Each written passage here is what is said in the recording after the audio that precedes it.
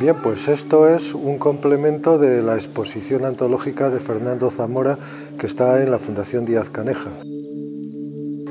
La exposición de aquí está compuesta por una serie de libros de artista.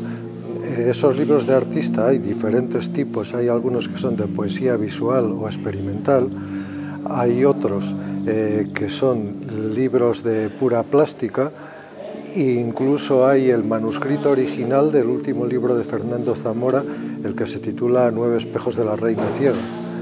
Eh, eso pues nos da una panorámica de lo que Fernando escribía y de lo que Fernando incluía en sus libros, en sus cuadernos de apuntes.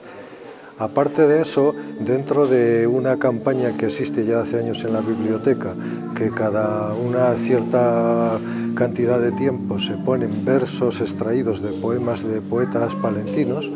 pues en esta ocasión se ha aprovechado para poner versos de Fernando Zamora que se encuentran por todos los pisos. Yo destacaría Los nueve espejos de la reina ciega porque es su libro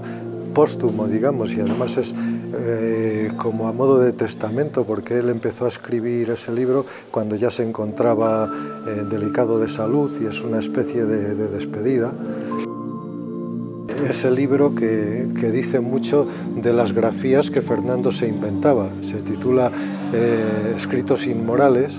y se ha inventado una serie de caligrafías, un idioma que no dice nada, pero que es absolutamente plástico, es pura poesía visual. En la colección Plástica y Palabra de la Universidad de León, que es de poesía experimental, eh, están muy interesados en publicar algunos de estos libros de artista de Fernando y van a hacer una publicación que incluye varios libros, uno de ellos es, este que se titula Almacén, escritos, desescritos es un tratamiento que es muy habitual en las vanguardias, en las vanguardias históricas, que es coger un libro e intervenir sobre él. Y aquí lo que hace Fernando es, eh, página por página, en unas hace tachaduras, en otra tapa la letra con dibujos, con caligrafías, y es un libro dentro de un libro.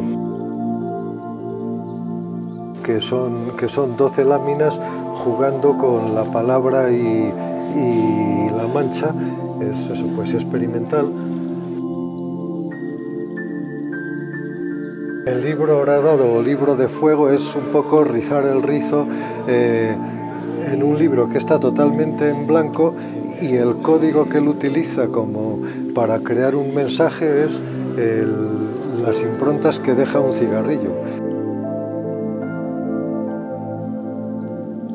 El 2 veces 11 se titula 2 veces 11 porque tiene 11 láminas de plástica figurativa, una, una figuración muy expresionista que son, todos son como naturalezas muertas, aquí hay unos limones, ahí hay unos pimientos, ahí hay unas flores